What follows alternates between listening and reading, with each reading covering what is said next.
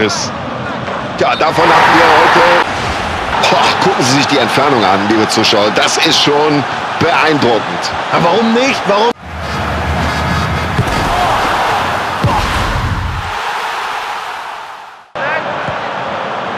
Und den kann er jetzt machen. Und er geht über die Linie. Also so langsam müssen sie es aber gemerkt haben, dass das ein ganz gefährlicher Spieler ist. Der hat ja schon zweimal getroffen.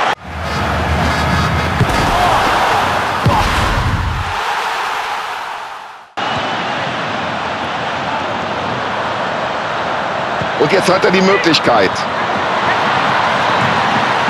Und Schuss. Und ein weiterer Treffer ist gefallen.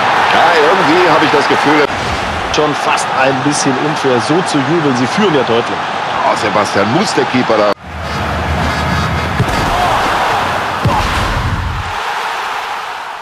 Schon vom Abwehrspieler. Ui, Tor. Ist es da? Mensch, da hat er den Torwart aber verladen. Ja, vor allem ist er